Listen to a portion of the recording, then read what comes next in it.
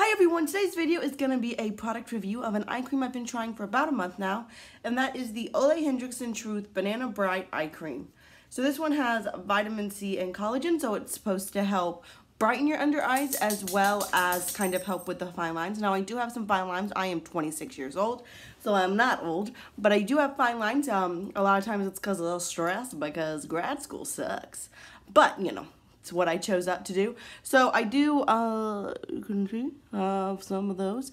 And I think this is a nice eye cream. So if you, um, I'm gonna show y'all me without makeup. I feel like it's always like, like a kind of shock, like when people go from like, hey, here I am fully made up to here I am with no makeup on and I have a breakout. So here's me with no makeup applying the eye cream.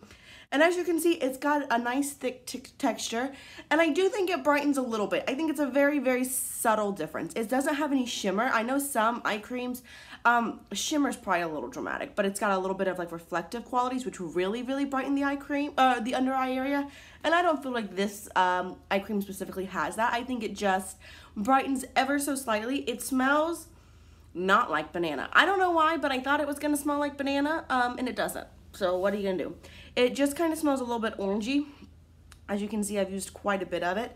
And the texture is pretty thick. Now, I'll put it on this side of my hand. It does blend out really nicely. And you can see when I applied it, I do apply it under my eyes, over my eyes, because, you know, people get crow's feet. And then I apply it on my laugh lines if I have any, just because I don't have bad laugh lines. But because I smile so much, I feel like it's a thing that could happen. So might as well.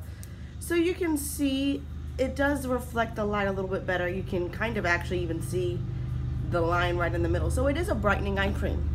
As far as moisture goes, it's pretty nice. I do have normal to dry skin, but my under eyes aren't incredibly dry. But I, um, I don't get those like milia bumps or anything. I think that they work pretty well. And so I like it. I don't really have anything to say about it. I do think it does a decent job brightening, though I don't have the worst dark circles. So I don't know what you want to do with that. Um, I don't know. I kind, I mean, I like it. I don't have anything bad to say about it, honestly, but I do know it's expensive. And as far as all the eye creams I've tried, I don't know that this one is the best one. I like the Origins GinZing a lot to make my under eyes brighter.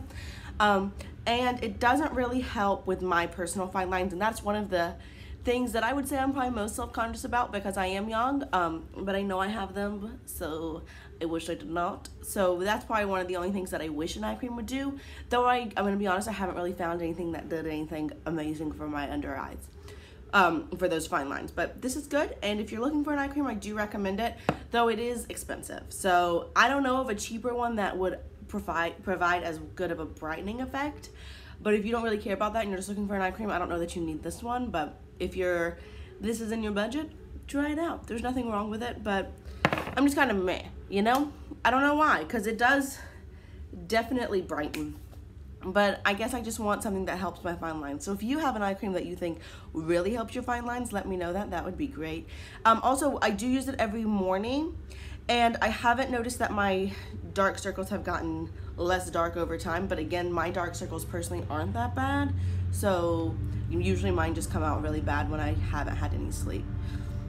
So that's all I really have for you. I hope you enjoyed this video. Like I said, uh, if you want to see me review something else, let me know. Or if you have an eye cream recommendation, let us all know. Um, but yeah, um, I have quite a few product reviews and I'll link them all below. I know I've uh, done It Cosmetics Bye Bye Under Eyes Eye Cream and I liked that one too. I can't remember other eye creams, but you can check the playlist. So um, as always, if you have any questions, requests, suggestions, or comments, go ahead and leave those down below. But I'll just see you all real soon. Bye.